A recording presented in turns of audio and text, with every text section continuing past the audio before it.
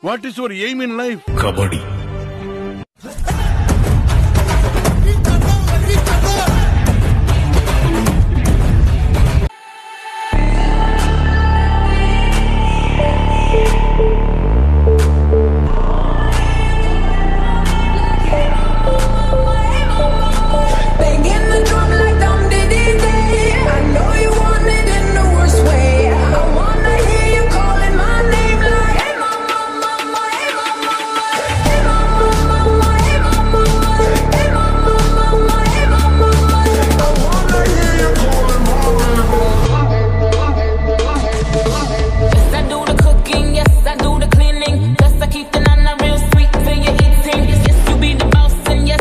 respecting whatever that you tell me, cause it's game